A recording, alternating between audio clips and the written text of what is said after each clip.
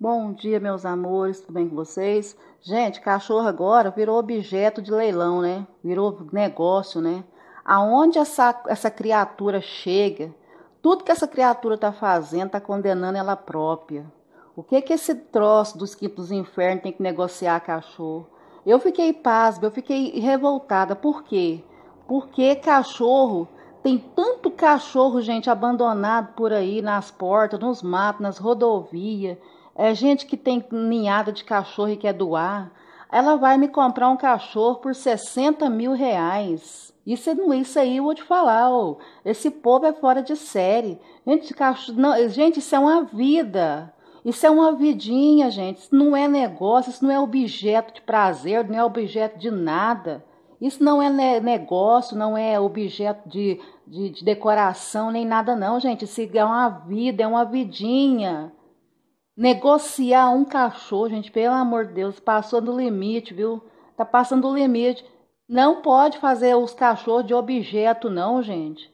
Os cachorros são vida, são. É a mesma coisa de ser um ser humano pra gente.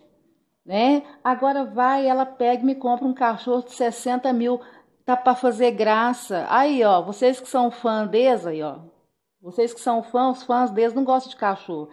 Ai, Glaucia, mas eles têm cachorro? Tem, eles têm a casa cheia de cachorro. Mas maioria é tudo comprado, né? Maioria é tudo comprado, porque pelo que eu tô vendo, né? Eles têm a casa, São Paulo tem muito cachorro, na fazenda também, né? Agora foi me leiloar um cachorro ontem, ela já matou um cachorro ontem. Pelo amor de Deus, gente, tenha dó.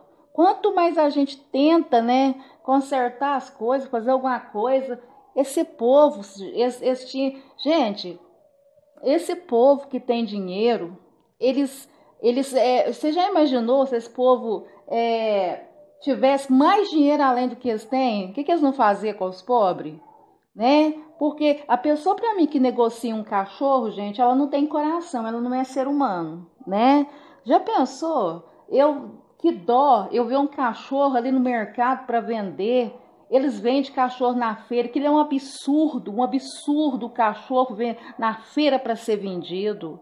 É um absurdo um cachorro ser vendido na internet. É um absurdo o cachorro ser negociado, pelo amor de Deus.